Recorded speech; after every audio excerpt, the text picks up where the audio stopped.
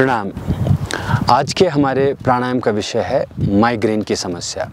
तो किस प्रकार से आप प्राणायाम की मदद से माइग्रेन से हील होते हैं, वो हम सीखेंगे। एक प्राणायाम है, जिसका नाम है Anulom Vilom pranayama alternate nostril breathing ये प्राणायाम आपने शांत गति से करना है।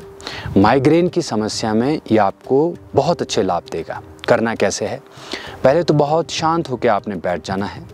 इसमें आसन या मुद्रा विषय नहीं है। आपने दायां हाथ दाएँ नासिका पर रखना है। बहुत धीरे धीरे आपने बाई नासिका से श्वास भरनी है।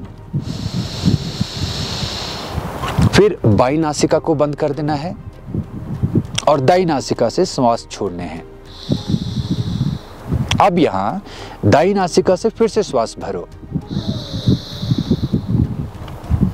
और फिर बाई से छोड़ दो। पर यह अभ्यास आपने शांत गति से करना है। आप इस प्राणायाम को जितना मंद गति से करेंगे, आपको उतना अच्छा रिज़ल्ट मिलेगा। माइग्रेन की समस्या बहुत भयानक समस्या है, बहुत बड़ी समस्या है और कोई दवाई अच्छा काम नहीं कर पाती है। ऐसी स्थिति में ये एक प्राकृतिक आपके लिए उपाय है। इसको ज़रूर करिएगा, आपको इससे अच्छे परिणाम मिलेंगे।